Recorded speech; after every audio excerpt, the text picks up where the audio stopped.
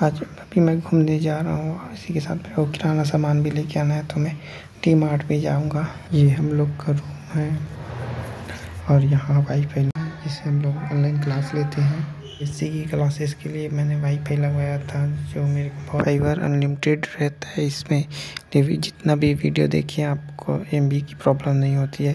Phone mobile का data तो कुछ ही देर में ख़त्म हो जाता था। सामान खरीदना है तो मैं डी मार्ट जा रहा हूँ।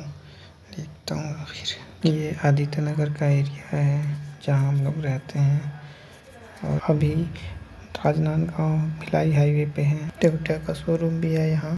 अब डी मार्ट पहुँचने वाले चल चल चल।